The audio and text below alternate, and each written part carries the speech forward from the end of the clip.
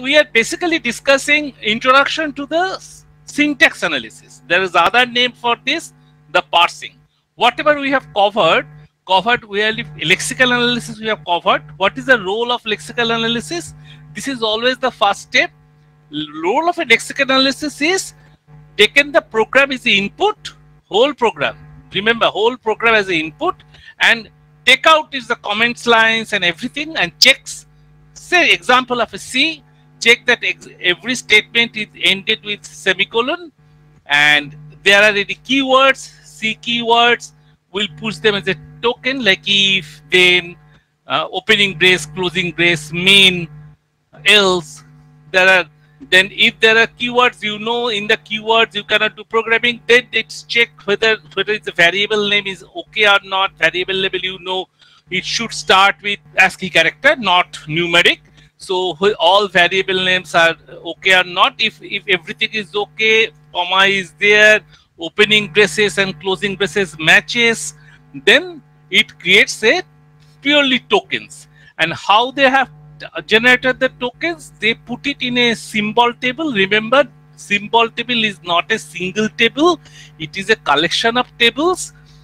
Per scope of your program, you know the C, you know the C or Java or C++ or Python, you know what is scope, what is dynamic scope, what is global variables, what is local variables, various types. Within a within a long program, you can have a within a opening brace and closing brace also you can have a scope. So uh, the scope is very vital and variable name can be different or the same variable variable name in different scopes will be different variable. So we must uh, reason ourselves that symbol table is generally not a single uh, symbol table. There is two reasons for this. If I make a single symbol table for a whole 100 line program, that uh, uh, this table would be too large and too difficult to search. So it is better as a collection of tables or a forest of tables I mentioned. And every scope has its own table. That table left hand side will be the token numbers and right hand other, other column will be the variable name and other variable also should, should be there like whether it is a call by value or call by parameter. In case of C maybe in Java and Python it is all a call by value. How the parameters are passed even the function values are stored in the symbol table. That that is the role of a symbol table. So symbol table, I once I again repeatedly mentioned the symbol tables is just created at lexical analysis phase, but the whenever it is a syntax analysis phase, by this that is the syntax analysis, other name is parsing, mm, then the symbol tables is actually filled it up. We are issuing a integer number to a floating point number and all this without casting operator. With casting operator, you can do but if you say a array variable, the variable index comes to a floating point number, that is not acceptable. So this kind of checking, it is done by the semantic analysis. The semantic analysis comes when the syntax analysis phase say, okay, this string of characters is very legal. It can be officially generated from the context-free grammar. So then the semantic analysis comes. Remember, all these things comes into the pass one of a compiler. I have told you, in any compiler, the passing can be pass one and two or three maximum three passes are there through the whole cycle and it is uh, detected and every time the error can be generated it can be lexical error it can be syntax error it can be semantic error it can be code generation so then the your symbol table will help to generate the error i also told you that error generally not a single error is not there it should be compiler should try uh, it should be a robust one. Compiler writing is done by very expert programmer. The compiler should be very robust program, it try to even the one or two uh, syntax error try to correct and you alert you that probably you have missed semicolon and all these things. Again, they go on and say, no, no, this is this error, this is the scope is there. So all these kinds of so, so it is that true. So right now, today we are in phase. We'll again go back to this today we are faced with the context-free grammar. I must tell you why I chose the context-free grammar because rather deterministic context-free grammar because without this the programming language cannot be done. You, come, you might ask why not context-sensitive grammar, why not type zero grammar, it cannot be done. I am not saying it cannot be done, but maybe one or two rules may be there in our programming languages, but very few. In Java, Python, there may be one or two rules for context sensitive grammar or type 0 grammar might be there but most of the our programming language deterministic context free grammar where the you can find the unambiguous grammar what is unambiguous grammar so that whenever you you are parsing it it uh, parsing it from left to right that is top to down that is only one and only tree no duplicate values no double meaning. Like we see double meaning words it might good for in your your song or poetry but but in in compile it is absolutely normal because comp- computer is basically stupid. So it cannot understand double meaning it cannot go to either this on this that is kind of a non-determinism. It is not possible. So we choose a deterministic context-free grammar. The three rules of production rules the capital S the start symbol small c d is a again a terminal d is a variable d is a terminal. There's another alternative rule. I have i have written this rule. It is a start symbol. This is a terminal. A is non-terminal. Capital a d is a terminal and a is a variable and uh, non-terminal. And a variable and non-terminal is the same thing. These are the two three production rules and i have drawn it like this. And you have a you have a string. It is come cat our our string is cat our w uh, production is cad this is c a it will be c a this is this you got the you have these only rules you have these rules and you have to parse it by cad what should be the first step? What should be the first step? Because there is only way one you can start because you start so this is the only way you can start. This rule should be fired first. It should be c a d. So what is the first thing? I'll come to the c a d. Now after seeing this you can choose that i have two rules like a to ab and a so if i put a to small a so I'll get the, I'll get it, CAD. But computer is stupid. Computer will, will try this rule. Computer will try this rule first. Why? Because A gives two rules, A, B and A. Computer doesn't see that there is a D. I'll check it. Why? So the computer will first firing this rule, go for C, A, B, and then it founds D. Then say it goes to C, A, B, D. Now it sees its target is CAD, not CABD. So it cannot be done. So again, again it goes back. Again it goes back. Then it goes to this rule. A is equal to A. That is, I can call it is a computer is again back and through. It is a back and through. It, it, it goes again back and it got it. So right now it got is this things. So what I want to tell, this is called recursive descent parser or there is a backtracking is allowed. What is the problem of backtracking? It is fortunate you are you you get hold of you know that I have on the wrong track. Maybe after several derivation, you found the target string is not there. Then you have to go back again and again and come back at what point where you can take another route. If you do not found that target string, then you declare this string is not acceptable by the grammar. So what is the summary I want to tell? This is called recursive descent parser where backtracking on.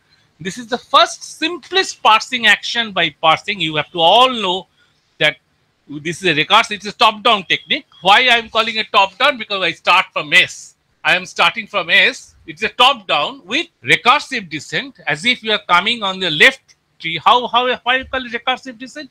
It is a always a left child. If there is a left child terminal, forget about it. The next two variable, any variable is there. If it is not variable is there, fine. The, you go for next variable from the left hand side and go for all possible extension. And you try once at a time and after say maybe two or three or five you find that that whatever strings you are generating with left hand side terminals and left hand side variables there is some wrong. So again you go back one at a time one at a time and check all the other possibilities of rules. And remember we have only three rules but in actual programming language maybe 200 of rules. So it can go back 10s and 20s and it will take a exorbitant of time. It definitely cannot be linear. You need a lot of space in memory to compile. So this absolutely recursive descent is no no. So recursive so recursive descent is okay. Track with uh, recursive descent recursive descent what is this technique? Recursive descent, top down, top down with backtracking, with backtracking. With backtracking, not allowed. This is not possible. Why? This is a simplest of the parsing. Recursive descent, top down with backtracking because it will take definitely O, N, cube, O, N, maybe more. Okay. So this is not possible and your compiling will take. So first we try to avoid this backtracking. Then it is okay. If it is not backtracking then then then if there is a second step. It is called recursive descent. Recursive descent top down parsing. Recursive descent without backtracking. Without backtracking you might ask, sir, what is the backtracking is problem? Backtracking is problem, you, you have to keep it pointed at what point you have done multiple option, you took only the only one option. And that maybe your your fault has been detected at the 10th stage, 12th stage, or 100. Then you have to again come back and try everything else. So that is the reason it will take an inordinate time. So backtracking is absolutely anywhere in computer programming is not acceptable though we humans are doing the backtracking and but we human cap have various we have memory capability but computer has only this this parsing maybe only one stack. So that is not possible. So this is on. This is everything is okay. Recursive descent this is a top down parsing top down parsing. So what is the basic thing? This is a top down parsing parsing parsing to top down from top down means you are starting from the source symbol and another is I have not yet explained more or less bottom up. I'll come by bottom up next class. Bottom up. Okay. So we are discussing top down. Top down, the thing is that then the uh, easiest of the top down is with backtracking on, with backtracking on top down parsing. Top down parsing. So this is the example I have done it. I have proven it. It cannot be done because the backtracking is dangerous. Here I have done backtracking, this example. So there is another alternative that is recursive descent parser. It is called recursive descent. You can call it recursive descent top down, top down without backtracking. This is okay. Without backtracking. That can be done, but you have to modify your grammar a little bit. This is perfectly okay. In fact, our LL1 grammar is this major grammar. Lots of grammars are LL1 grammar. Let's how to detect LL1. So first thing is first. So one function I have told you in the earlier classes, so it is first function and follow function. So whatever the strings are coming, whatever the string, you have to just calculate first of this, first of all this, first of S, first of this, first of this, first of all this. The one rule is the first of a terminal is always a terminal.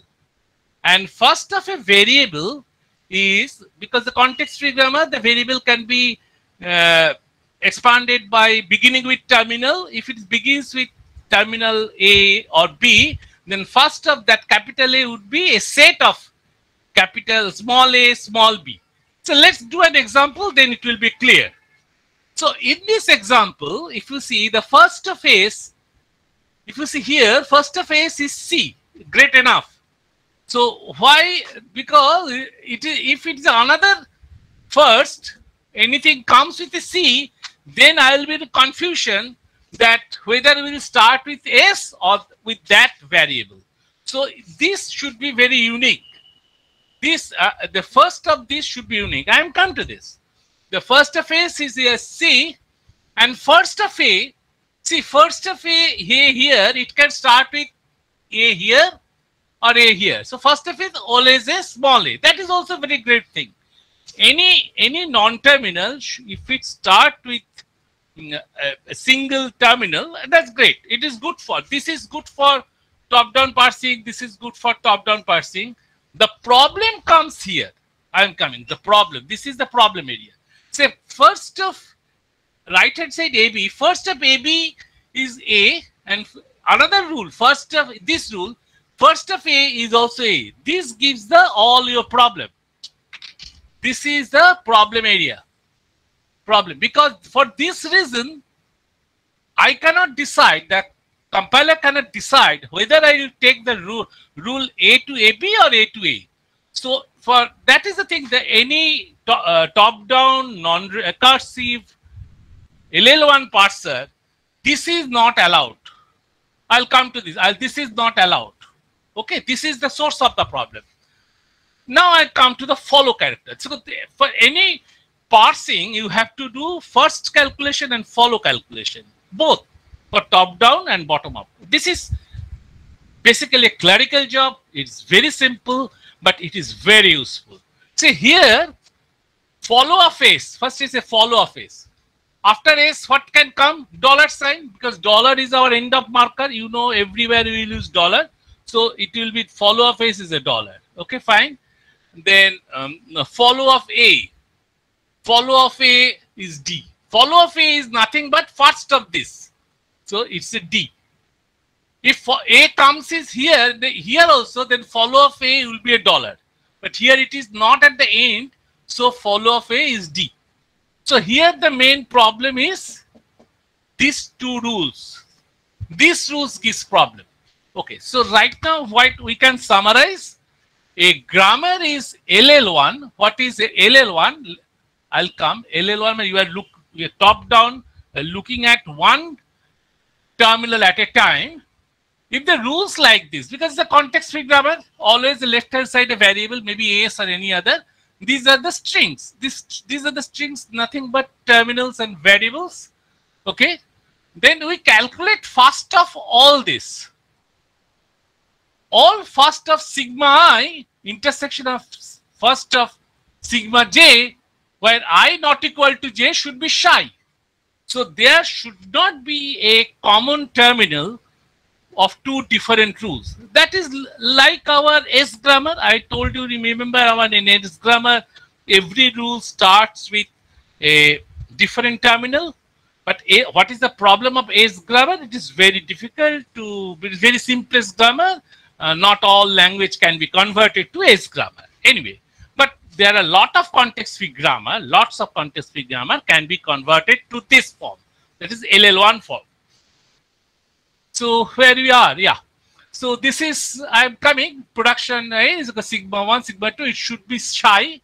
And another thing is any non-terminal x can derive empty string epsilon or in some books say lambda, epsilon is a better choice.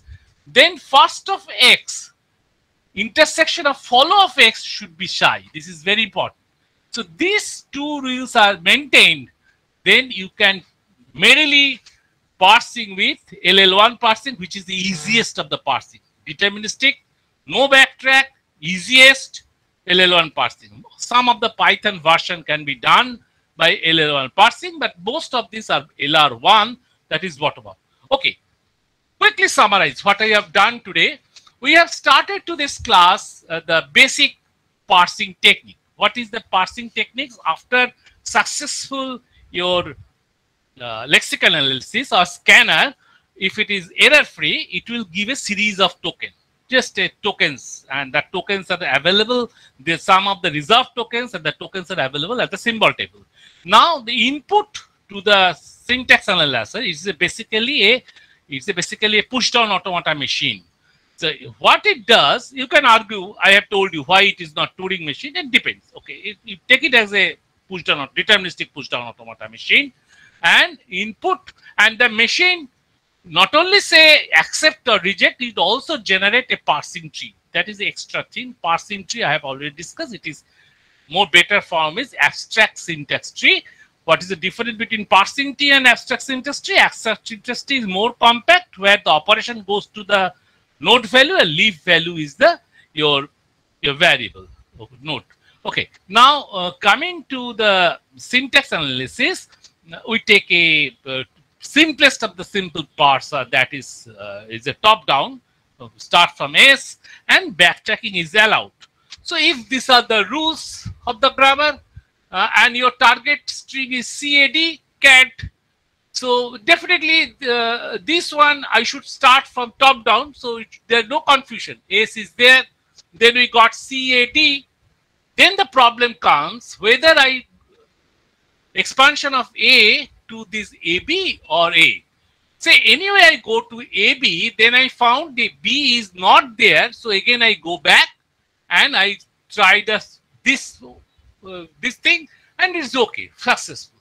But this detection uh, can be done maybe after 10 levels and so I can have to backtrack and cancel it. If even if I cannot do this, then we say this uh, string cannot be parsed by this grammar. We say it is an error. And the error comes, gives the error from your uh, symbol table. You can, uh, your follow table, you can say that these are the errors I found. Okay. Now, what is the clerical thing whenever you are given a set of context-free grammar rules and you have to ask in a quiz that whether it is a LL1 grammar or whether it is a, there will be a problem in uh, recursive parsing with a backtracking, the first check will be you have to calculate the first function and follow function. This is very easy. So whenever you calculate first function, you have to calculate first of all terminals. First function of all uh, vari variables are non-terminals. First function of all terminals you did not because first first function of all terminals will be always always that terminal itself Okay, so don't calculate first of terminal. Okay, and follow of terminals not required. Follow of terminal not. So that is a simple thing.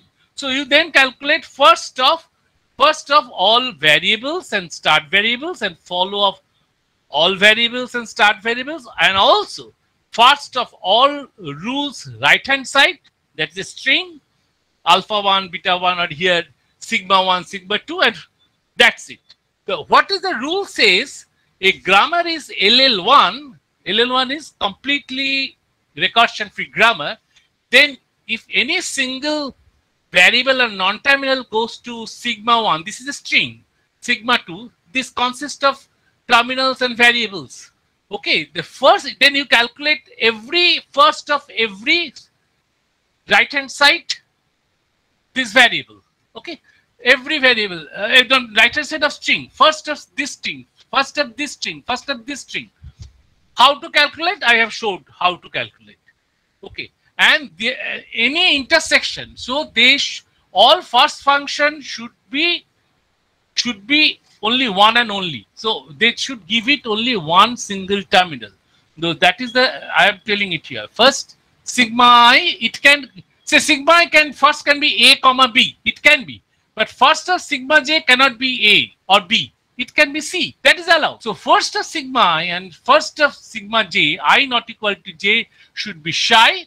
Another very important, if any non-terminal x can derive empty string, but I have told you in, in Chomsky's normal form, if the grammar is Chomsky's normal form, you cannot allow any non-terminal go to epsilon, only s. But for any sake or exam, anything, if any non-terminal can derive empty string, then first of x and follow of x should be psi. How to calculate follow? Follow I have already shown it here.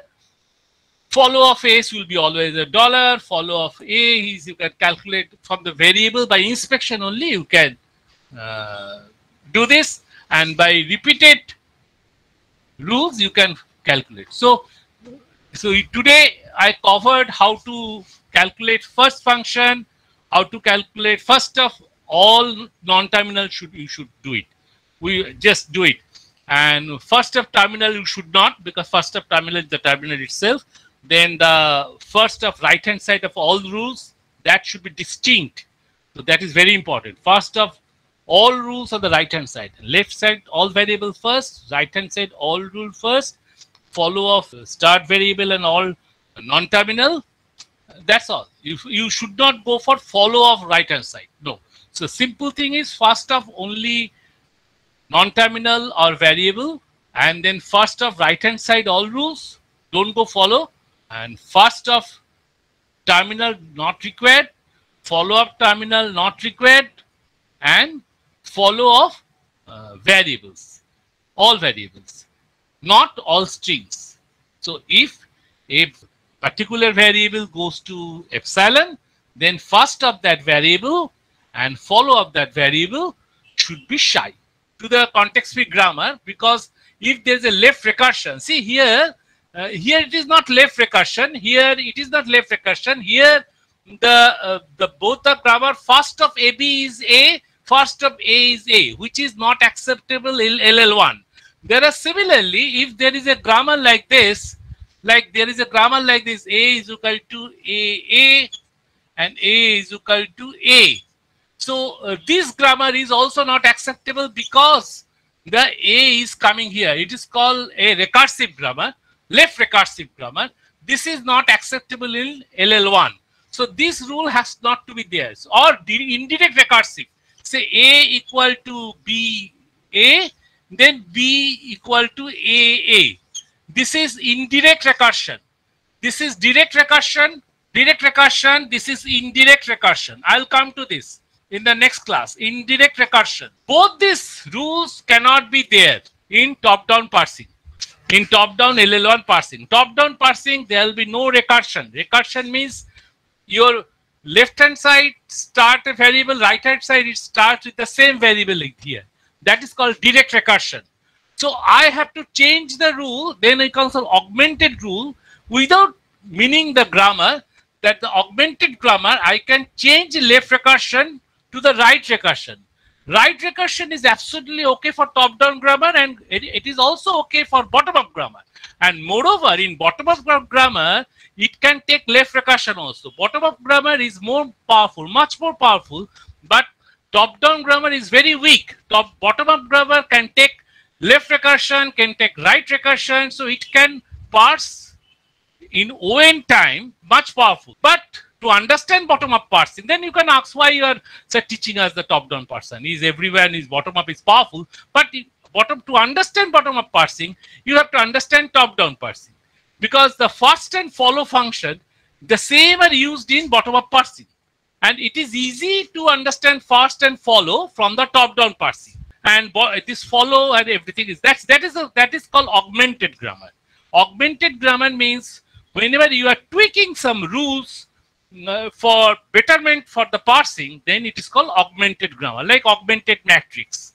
In your linear equation solve, whenever your right hand side, you put it into a matrix that is called augmented matrix, augmented grammar. Taking care of all type 0, type 1, type 2, type 3 language. What is type 0?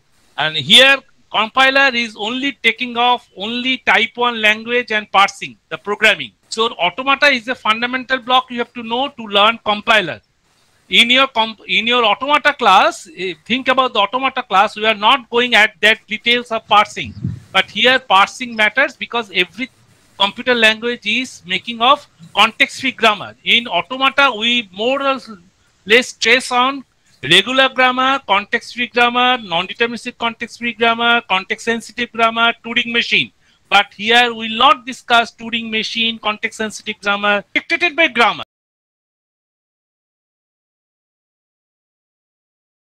See, if you do not know English grammar, then I can, you cannot understand my language.